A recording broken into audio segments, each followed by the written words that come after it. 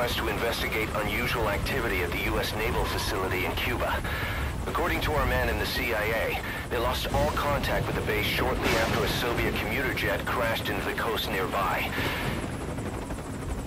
But the strange thing is that when comms were restored 24 hours later, the only message received was conditions normal, and that was it. The plane's at the bottom of the ocean now, but before it sank, someone, something escaped the wreckage and made it to shore.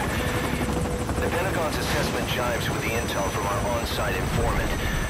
Signs indicate that the base has been taken over by some unknown entity. Intelligent beings that attack people and steal their identities.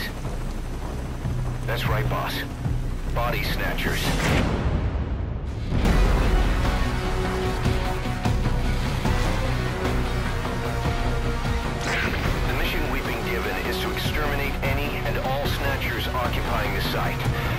Now I know what you're thinking. Legendary hero or not, these things aren't exactly your jurisdiction. But we've got a secret weapon. A man from another world. A dark, distant future. A man made into a war machine with no human body for those bastards to snatch. As payment, all we need to do is hand over the XOF badges you've gathered on your missions.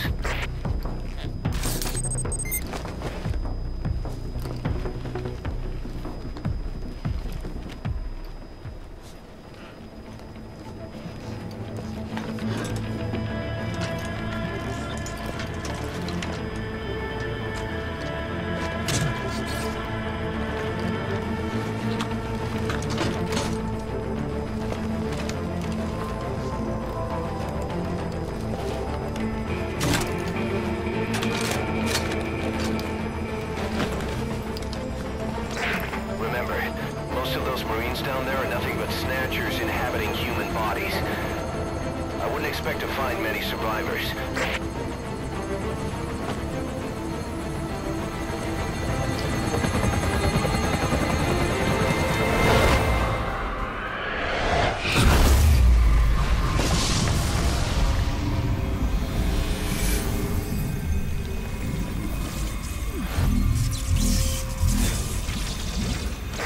Eliminate any and all snatchers occupying the Cuban naval base and prison camp. There's no telling what'll happen to the world if you lose.